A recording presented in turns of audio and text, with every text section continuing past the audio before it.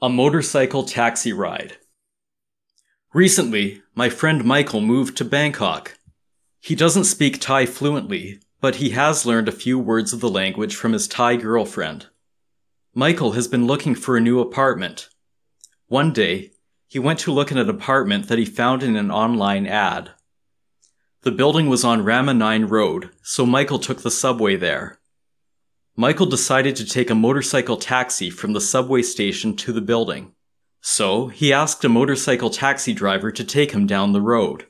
As the taxi reached the building, Michael used his Thai to tell the driver to stop.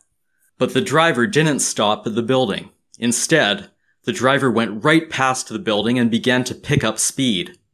Michael was annoyed and told the driver again to stop. But the driver kept going even faster than before, passing by many cars. Michael became frightened because the motorcycle was going so quickly. He held onto the driver tightly, fearing he would fall off the motorcycle.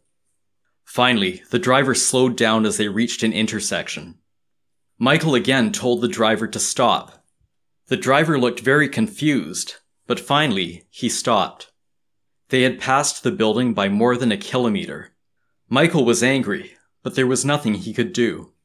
He gave the driver 100 baht and took a taxi back to the building. Later that day, Michael asked his girlfriend why the motorcycle driver didn't stop when he told him to. Michael's girlfriend asked him what he had said. Michael said to her the same thing that he had said to the driver. Oh, she exclaimed, that's not the Thai word for stop. You were telling him to go faster. Michael felt foolish. He knew then why the driver kept going faster. Michael had used the wrong Thai word.